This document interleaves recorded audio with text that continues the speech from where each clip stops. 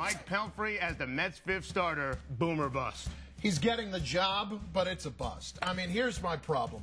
Can we get somebody out consistently? Can that ever happen with Mike Pelfrey? I mean, I understand that this guy's only a couple of years out, but for Pete's sake, last year he won the job in spring training. He was god awful during the season. In spring training this year, god awful.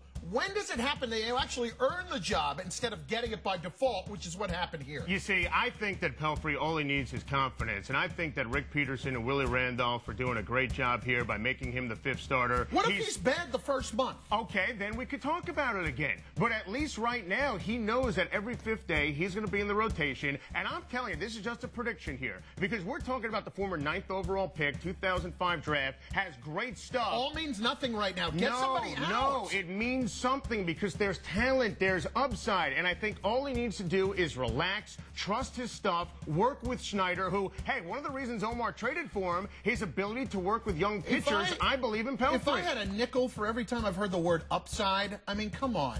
When does upside start to pay off Who do you want? Claudio Vargas, who got cut by the Brewers? This guy's won 23 games the last two years. As a fifth starter, how bad is that? Capuano is on the disabled list, and Milwaukee cut him. You, he had an ERA under four in spring training. He had an ERA of five last year. It's his career five, but he's a fifth starter. I'd rather have the upside of Pelfrey. You know what? Too high of a ceiling.